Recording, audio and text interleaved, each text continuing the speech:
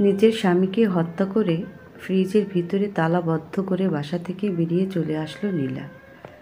নীলা এত বড় একটা কাজ করল, কিন্তু তার মনে কোনো ডর ভয় কাজ করছে না। তার মাঝে কোনো রকম খারাপ লাগাও কাজ করছে না। নীলা বাসা থেকে বেরিয়ে একটা রিক্সা নিয়ে নদীর পাড়ে চলে গেল। কিছুক্ষণের মধ্যে সেখানে আরও একটা মেয়ে আসলো। নীলা, কাজ শেষ? হুম মেরে ফ্রিজের ভিতরে রেখে চলে আসছি। কেউ খোঁজ পাবে না। পেলেও অনেক দেরি হয়ে যাবে। যদি কেউ জেনে যায়, তখন কি হবে? যদি পুলিশ খোঁজ পেয়ে যায়, তাহলে তো তোর ফাঁসি হয়ে যাবে। নীলা একটা রহস্যময় হাসি দিয়ে বলল, এসব আমি ভয় পাই না। এখনও আমার অনেক কাজ বাকি। মানে আর কি কাজ বাকি তোর? সেটা দেখতেই পাবি। এখন আমার সাথে চল। নীলা মেয়েটাকে নিয়ে চলে গেল। দেখতে দেখতে তিন দিন পার হয়ে গেল। নীলার হাজব্যান্ডের কোনো খোঁজ না পেয়ে তার বাবা মা নীলয়কে খুঁজতে বাসায় চলে আসে। নীলয় নীলার হাজব্যান্ড নীলয়ের আম্মু ফ্রিজের সামনে যেতেই চিৎকার দিয়ে ওঠে। কারণ ফ্রিজের ভিতর থেকে নীলয়ের রক্ত বেরিয়ে পুরো ফ্রিজ লাল হয়ে গেছে। নীলয়ের বাবা বলল, কি হয়েছে তোমার? চিৎকার করছ কেন? ফ্রিজের ভিতরে কি আছে? দেখো একটু। আরে, কি থাকবে আর? হয়তো মাংস রাখা আছে। তুমি খুলে দেখো, প্লিজ। এত রক্ত, আমার ভয় করছে খুব।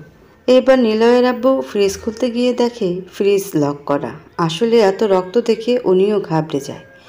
রুমে সব এলোমেলো হয়ে আছে। এবার তালা ভেঙে ফ্রিজ খুলেই চমকে উঠলেন। নিলয়ের রাস ফ্রিজের ভিতরে রাখা।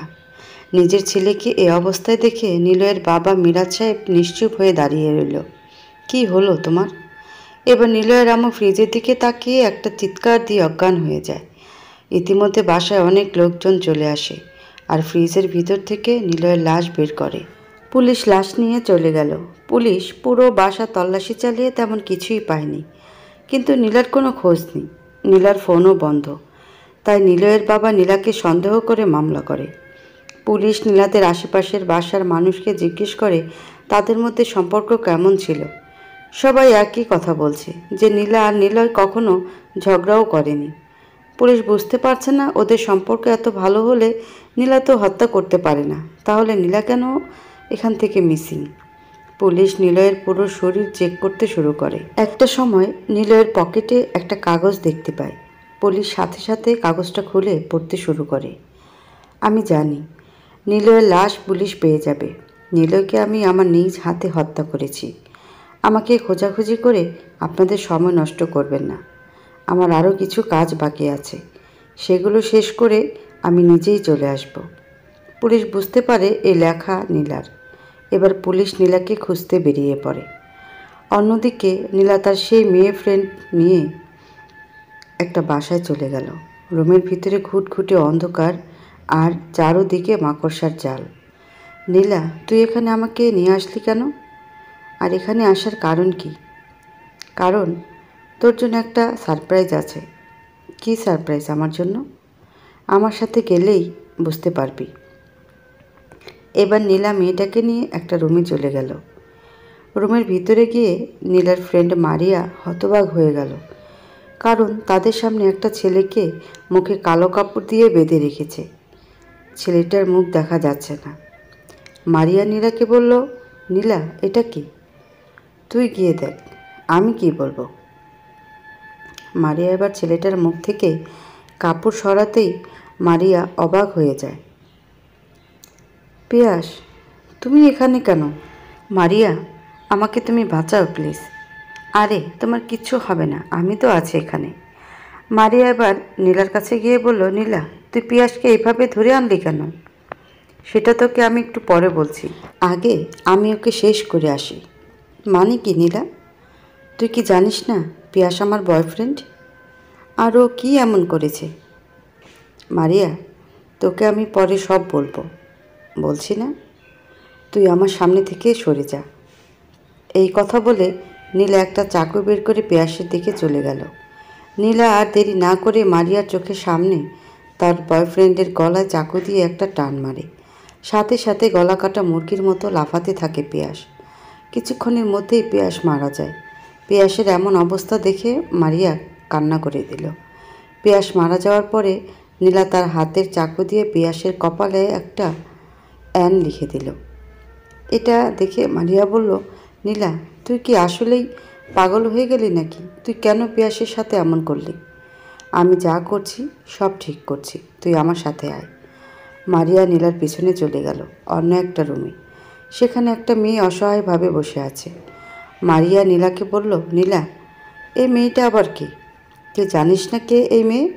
না, আর এই মেয়েকে তো আমি আজ প্রথম দেখলাম। নীলা একটা হাসি দিয়ে বলল, এই মেয়েটা তোর সত্যিন মানে? মানে তো খুব সহজ। পিয়া সেই মেয়ের সাথেও ভালোবাসার অভিনয় করছে।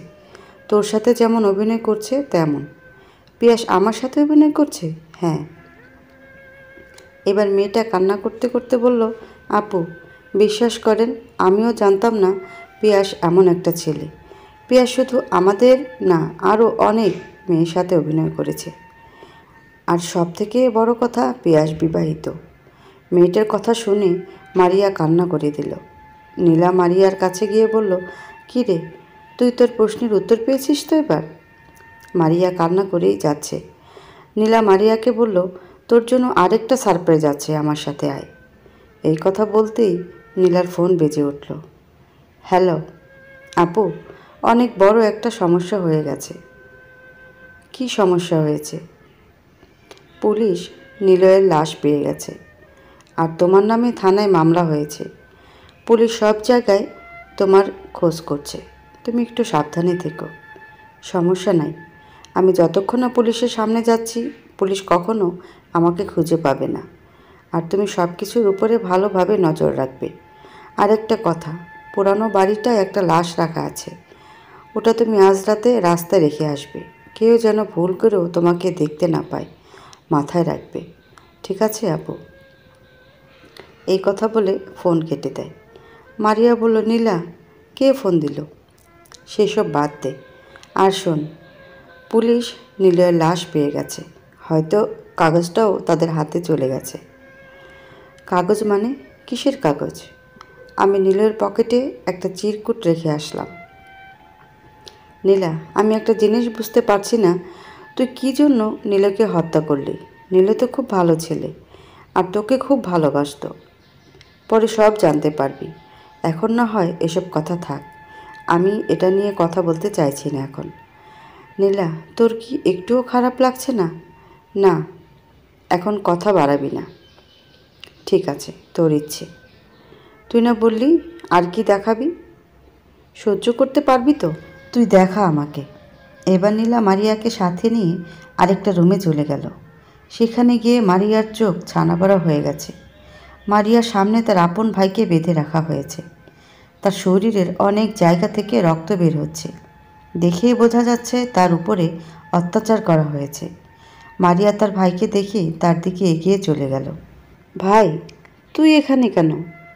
মারিয়ার ভাইয়ের এমন অবস্থা হয়েছে যে তার মুখ দিয়ে কোনো কথা বের হচ্ছে না। এটা দেখে মারিয়া নীলার কাছে ছুটে গেল। নীলা, আমার ভাই এখানে কেন? আর ওর এই অবস্থা কে করছে? আমি করেছি। আর তোর ভাইকে তুই নিজের হাতে মারবি। মানে তুই কি পাগল হয়ে গেলি? আমি আমার ভাইকে কেন মারবো? আর কি করেছে আমার ভাই? তোর ভাই অনেক মেয়ের জীবন নিয়ে খেলা করেছে। মেয়েদের অসহায়ত্বের সুযোগ নিয়েছে। অনেক মেয়ের সাথে রিলেশন করে তাদের ঠকিয়েছে। না, আমার ভাই এমন কাজ করতে পারে না। তুই আমার ভাইকে ছেড়ে দে। এই কথা বলে মারিয়া তার ভাইয়ের কাছে চলে গেল। মারিয়া নীলার কাছে তার ভাইয়ের জীবন ভিক্ষা চাইতে থাকে। কিন্তু নীলা মারিয়ার কথাগুলো কানেও তুলছে না। নীলা, প্লিজ, আমার ভাইকে তুই এবারের জন্য ক্ষমা করে দে। আমার ভাই ভালো হয়ে যাবে। আমি কথা দিচ্ছি। মারিয়া, তুই কি সব ভুলে গেলি? আমাদের রুলস কী ছিল? এসব আবর্জনা পরিষ্কার করতে হবে, তুই সরে যা। নীলা এবার তার কোমর থেকে একটা পিস্তল বের করে মারিয়ার ভাইয়ের দিকে তাক করে ধরে। নীলা, প্লিজ, আমার ভাইকে মারিস না। প্লিজ, নীলা। এতক্ষণে নীলার পিস্তল থেকে গুলি বের হয়ে মারিয়ার ভাইয়ের কপাল ফুটো হয়ে গিয়েছে আর সেখানেই সাথে সাথে মারা যায়। মারিয়া প্রচুর কান্না করতে থাকে। মারিয়া এইভাবে কান্না করলে হবে? মারিয়া কোনো কথা না বলে এখান থেকে চলে গেল। নীলা বুঝতে পারে মারিয়া কষ্ট পাইছে, কিন্তু তার কিছু করার নেই। দেখতে দেখতে দুই দিন পার হয়ে গেল। মারিয়ার কোনো খোঁজ নেই। নীলা এবার মারিয়ার নাম্বারে ফোন দেয়। মারিয়া সাথে সাথে ফোন রিসিভ করে। কি রে, তুই কোথায়? তোর কোনো খোঁজ খবর নেই? আমি বাসায় আছি। তুই কি এখনও মন খারাপ করে আছিস? আরে না। তুই ঠিকই করছিস। আমি সব খোঁজ খবর নিয়েছি আমার ভাইয়ের ব্যাপারে। মারিয়ার কথা শুনে নীলার মন একটু হালকা হলো। নীলা মারিয়াকে বলল, মারিয়া, আজ রাতে তুই পুরনো বাড়িটায় চলে আসবি। আজকে রাতে একটা মিশন আছে আমাদের। আমি সবাইকে সব বলে দিয়েছি। ঠিক আছে, আমি সময় মতো পৌঁছে যাব। এখন রাখি। এই কথা বলে মারিয়া ফোন কেটে দিল। নীলা একটা চেয়ারের উপরে বসে থাকে। আর সে তার হাজবেন্ডের সাথে কাটানো সময়গুলোর কথা ভাবছে। কতই না সুন্দর ছিল তাদের সংসার। কিন্তু হুট করে সব কীভাবে এলোমেলো হয়ে গেল? এসব ভাবছে এমন সময় নীলার ফোন বেজে ওঠে। হ্যালো, রাসেল, বলো। আপু, আজকে রাতেই মিশনের জন্য আমি সব কিছু রেডি করে নিয়েছি। তুমি সবাইকে নিয়ে ওখানে চলে যাবে। আমি আর মারিয়া পরে আসব। আর নজর রাখবে ওদের উপরে।